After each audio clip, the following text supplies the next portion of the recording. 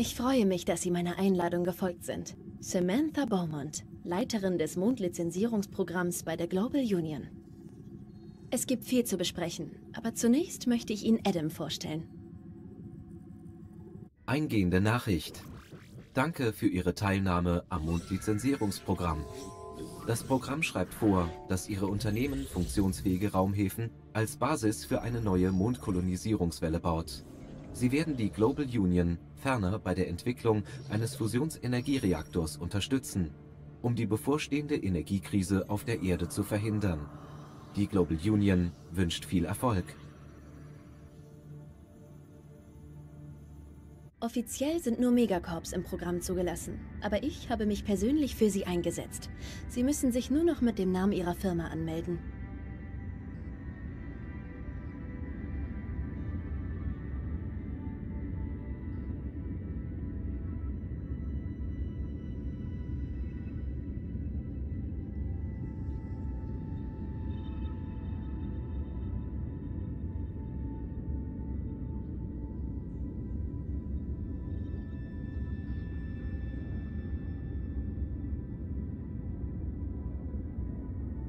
Danke, aber ich muss auch Ihr Firmenlogo sehen, zum Zwecke der Identifizierung.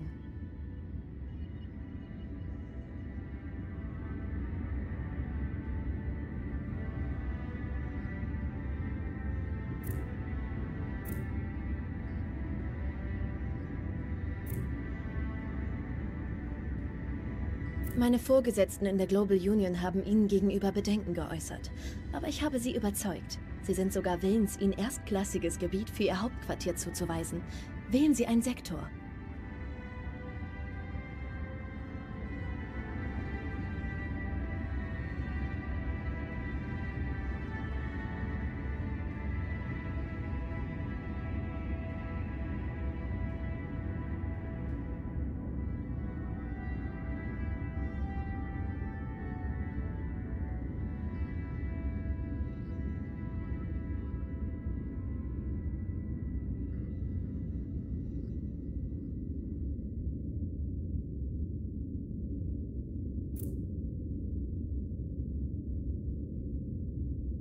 Fertig. Wir müssen nur noch die Bedingungen des Vertrags mit der Global Union aushandeln.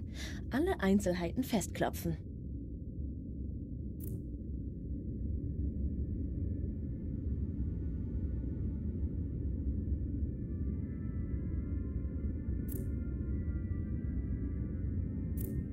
Sie beginnen jetzt Phase 1 des Mondlizenzierungsprogramms.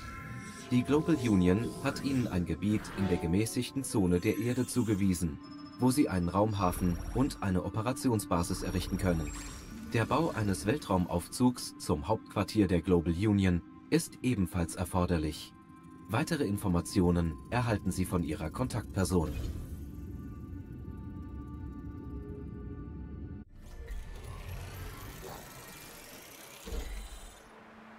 Weite Wiesen und majestätische Berge. Und bald werden sie dieses Bild mit einer beeindruckenden Skyline ergänzen. Unter uns gesagt, die Union ist beeindruckt vom Wachstum ihrer Firma. Kaum überraschend, dass sie sich für so einen großen Sektor entscheiden.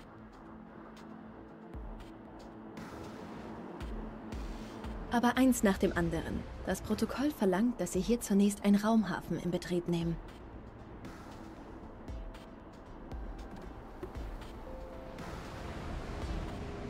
Die Baustelle des Raumhafens an der Küste ist immer noch unbesetzt. Aber sobald sie die nötigen Unterkünfte gebaut haben, werden ihre Bauarbeiter eintreffen.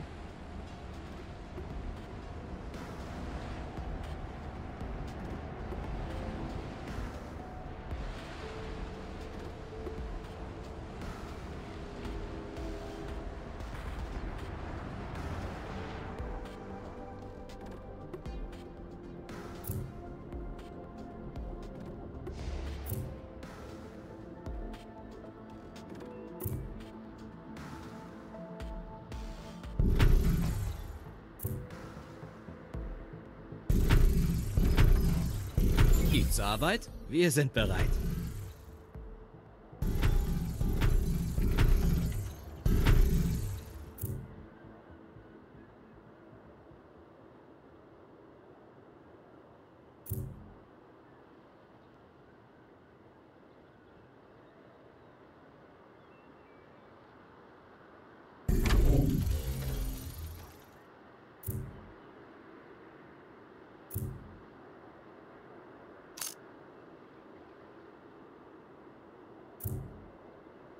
Organische Nahrung wird von vielen Megacorps als unnötiger Luxus eingestuft. Schön, dass Sie die Meinung der Union teilen.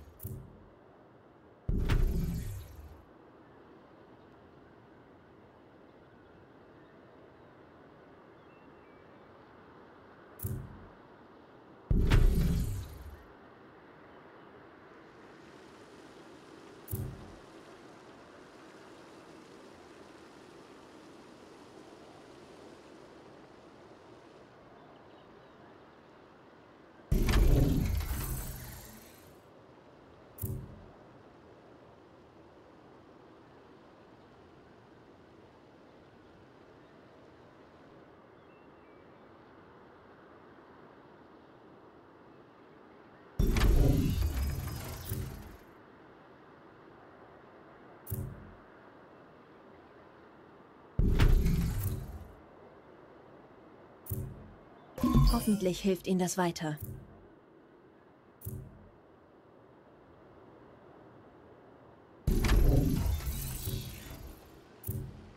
Gut, das Fehlen von Baumaterial sollte jetzt kein Problem mehr darstellen.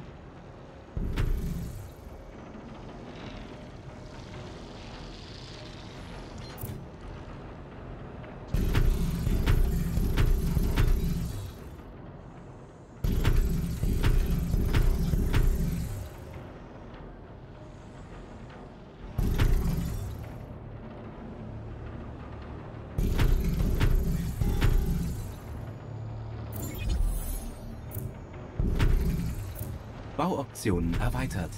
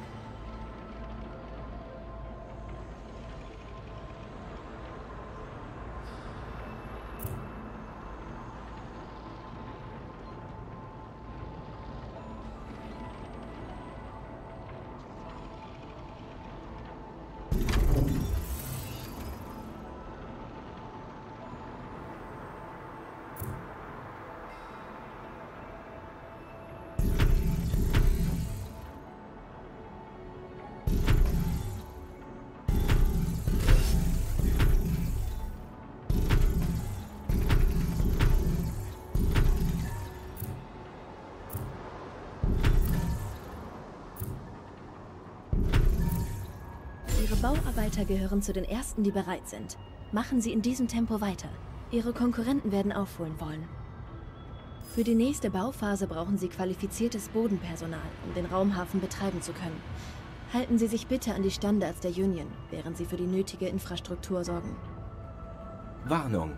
Energiemangel.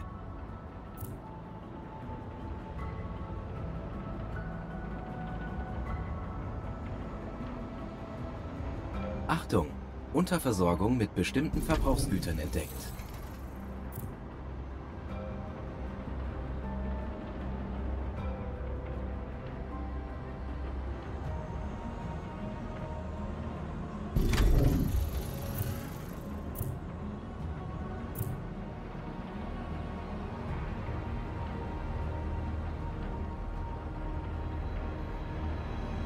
Ja, Sie brauchen diese Entsalzungsanlage. Heutzutage ist das die einzige Möglichkeit, Trinkwasser zu gewinnen.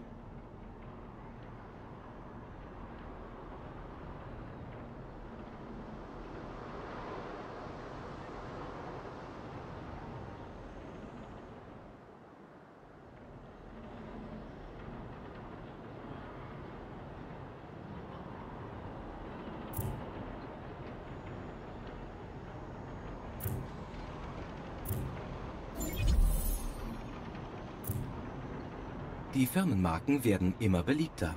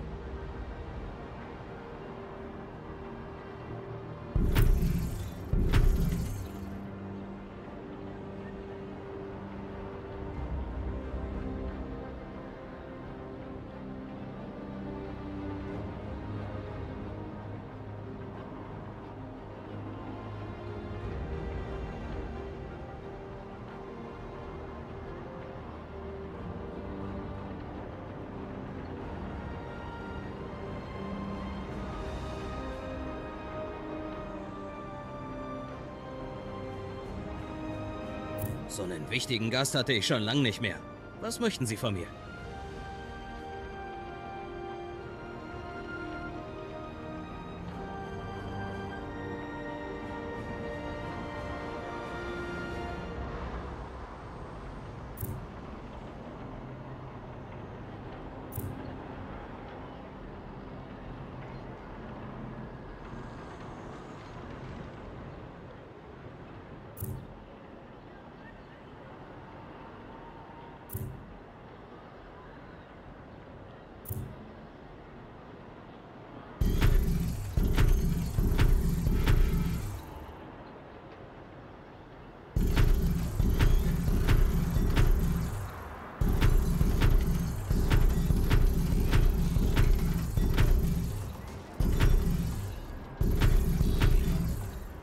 Unser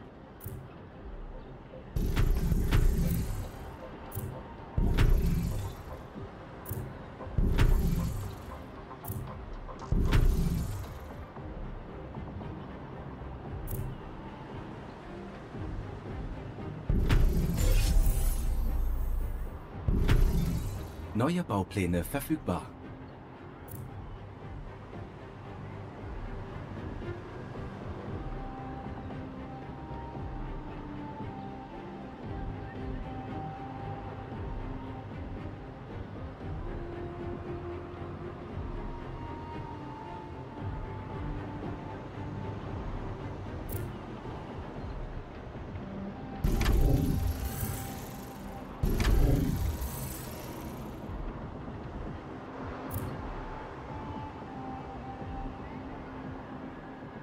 Eine große Bandbreite an Informationsdiensten. Damit könnten Ihre Angestellten ihre Interessen und ihre Fertigkeiten weiterentwickeln.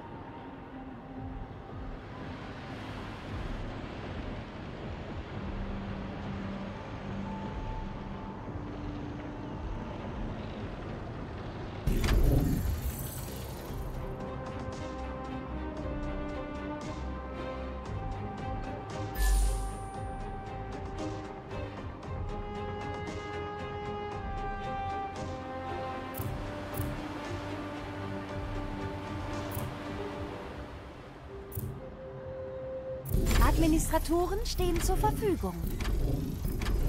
Bemerkenswerte Fortschritte. Sie haben Arbeiterkolonnen und Bodenpersonal schneller zusammengestellt, als ich erwartet hatte. Sie sind für die erste Hürde mehr als bereit. Das Programm erfordert, dass Sie Ihre Stadt über den Weltraumlift mit der Raumstation der Global Union verbinden. Bislang setzen nur Megacorps wie die Big Five so eine Technologie ein. Aber Sie haben sicher auch das Potenzial dazu.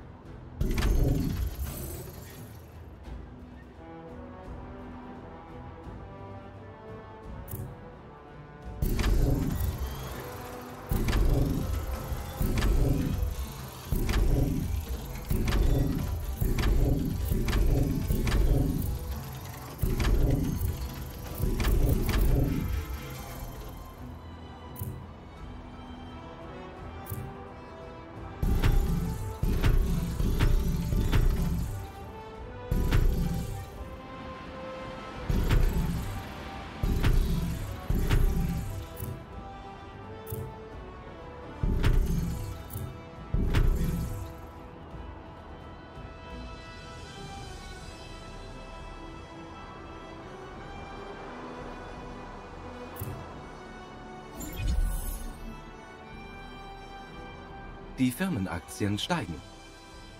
Gut, Sie haben die Komponenten für den Lift beisammen. Für das Liftkabel sind jedoch spezielle Materialien nötig, die Sie nicht herstellen können. Aber ich lasse sie liefern.